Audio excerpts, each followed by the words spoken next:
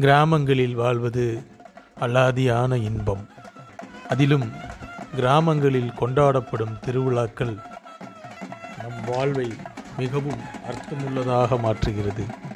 பங்குனி உத்திர திருவிழா என்பது மக்களை ஒன்றிணைக்கும் ஒரு அற்புத திருவிழா.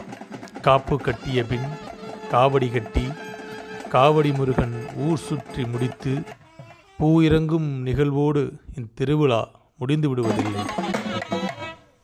நம்ம சொல்லணுமா? நீ சொல்லு எங்க சொல்லிருக்கோம்னு. இப்போ அம்மா சன்னதிக்கு வாங்கப்பா நான் சொல்கிறப்பா கிராமங்களில் கொண்டாடப்படும் ஒவ்வொரு திருவிழாவின் நிகழ்வுகளுக்கு பின்னும் கடுமையான விரதங்களும் பக்தியும் தைரியமும் உள்ளது.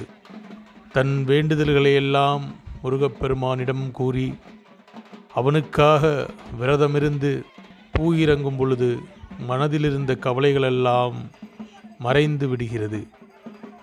பங்குனி உத்திர பெருநாளில் முருகனுக்கு பாலாபிஷேகம் செய்வதற்கான பால் சொல்லும் நிகழ்வு தற்பொழுது அம்மன் ஆலயம் முன்பு நடைபெறுகிறது.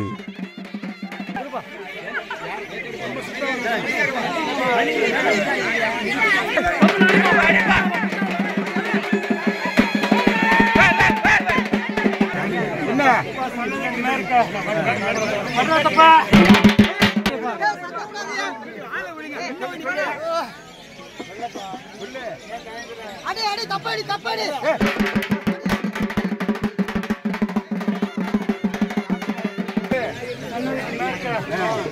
ஆதி முத்துப்பா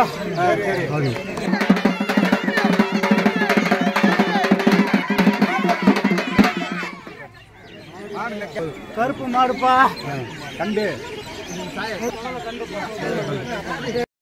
பங்குனி உத்திரத்தை வெறும் திருவிழாவாக கடந்து சென்று விட முடியாது. அது நமது வாழ்வியல். நம்மை நித்தமும் காக்கும் முருகப்பெருமானின் அருள் இந்த பங்குனி உத்திரத்தில் அனைவருக்கும் கிடைக்கட்டும். வெற்றிவேல் முருகனுக்கு அரோகரா.